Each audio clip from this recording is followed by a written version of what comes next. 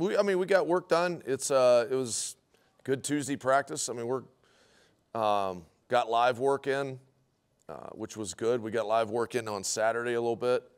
Um, we won't go live Thursday because we'll scrimmage um, this Saturday.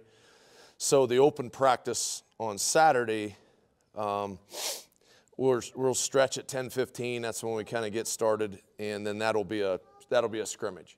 Okay, so that'll be a full, you know, blown, uh, you know, scenarios and and all different kinds of things. And so, um, pretty pleased with the kind of the the intent for 26 periods, which is a you know, two hour and 10 minute practice.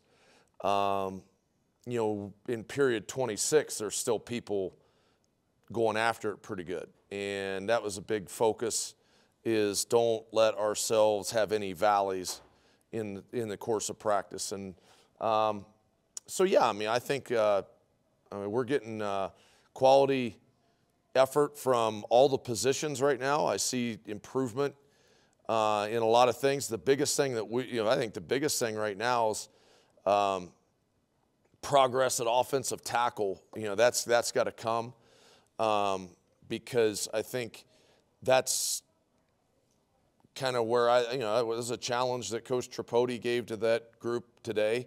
Is find out who's who's going to be those guys that step up and and get that blocked and get the protection done and, and that part of everything. I think our missed assignments are are are down. They're they're pretty good shape right now. Um, so yeah, I mean, I'm pleased with uh, where we are for seven practices. Um, pace that we're working at, the pace that we're going, uh, all the different work that we're getting in. We've put in more. Uh, give make Aaron Bohl the defensive coordinator, and he could install stuff at a faster pace than I did, and so I guess that that's our. We have a lot of people back on defense, so that's um, kind of worked out all right. And so, um, yeah, I mean, I think there's a lot of good things to it right now. We have a lot of stuff to clean up. We're not game ready. We're not. We don't need to be game ready, but uh, we have a lot of uh, things that we want to clean up and address. But I'm excited to see Thursday's practice and then Saturday's scrimmage. I'm looking forward to, you know, kind of seeing that. We're gonna we're gonna get after it on Saturday, so it'll be it'll be good.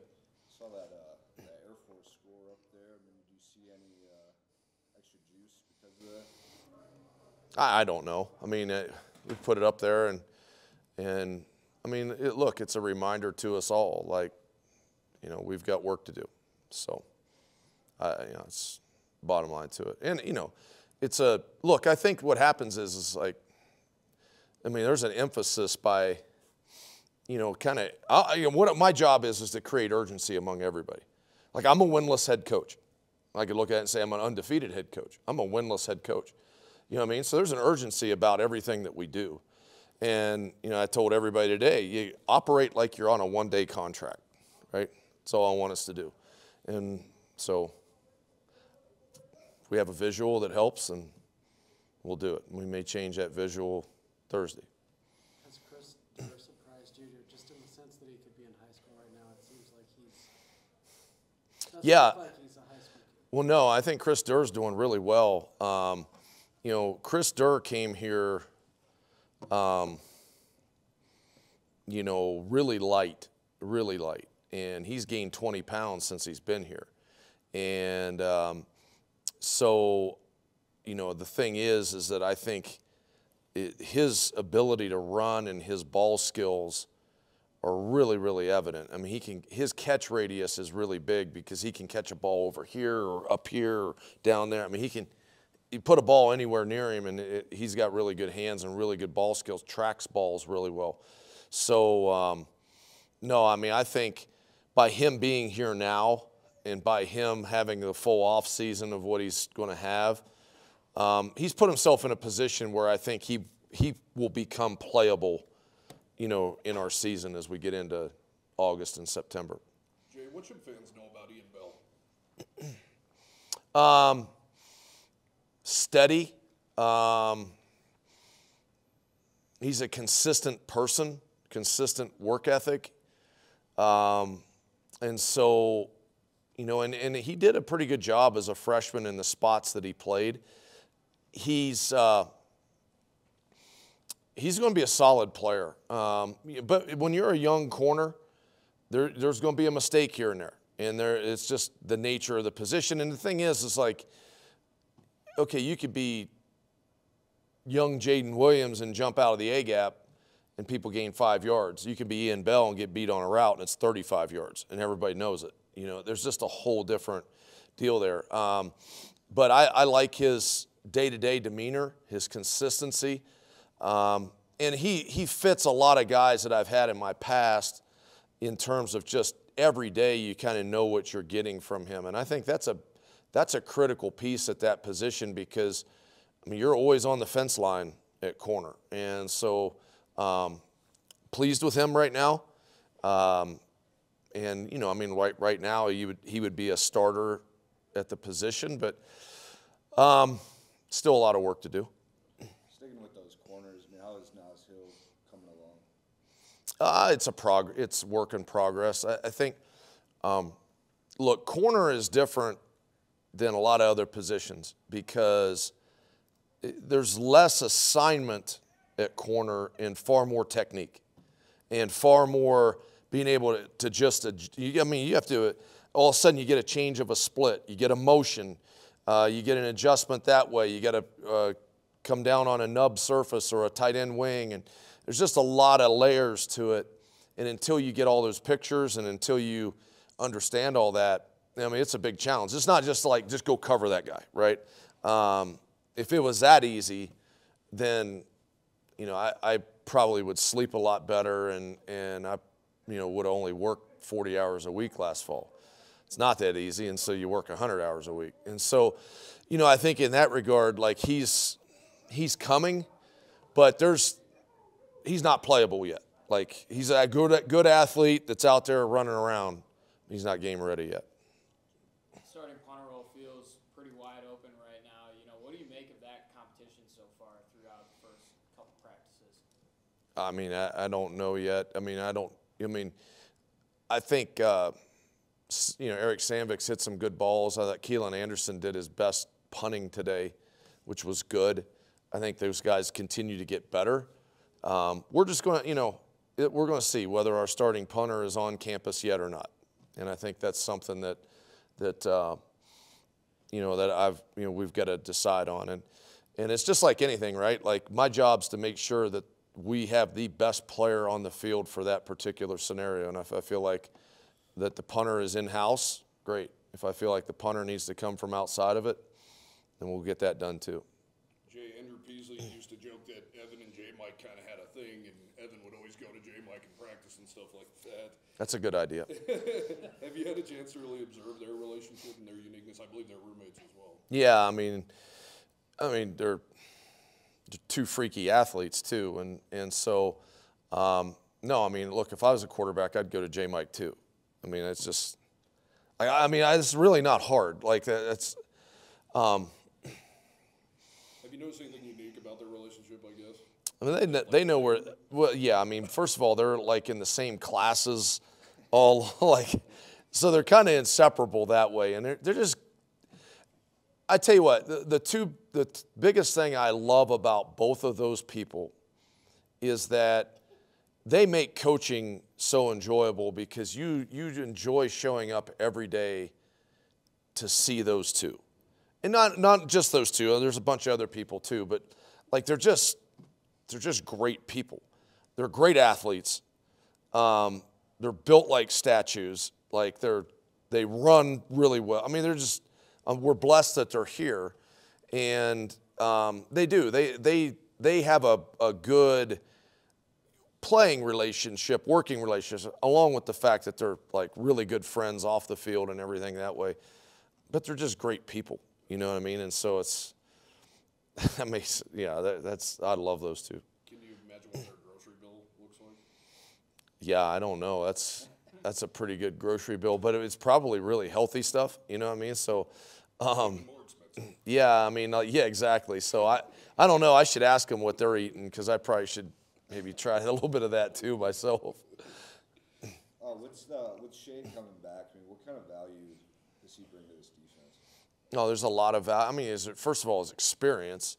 and experience at a very, a very important position.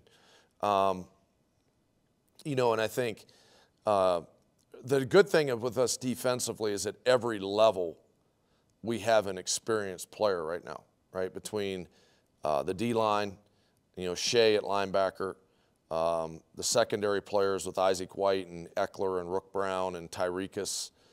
You know, so you have experience at all those levels. And now with Shae sliding over to where, you know, Easton was, um, you know, there's communication levels, um, getting everybody lined up, getting everybody going that way.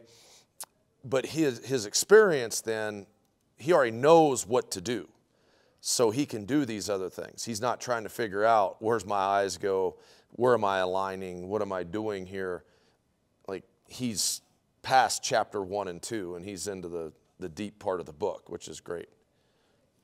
What makes Sebastian Harsh so special to you?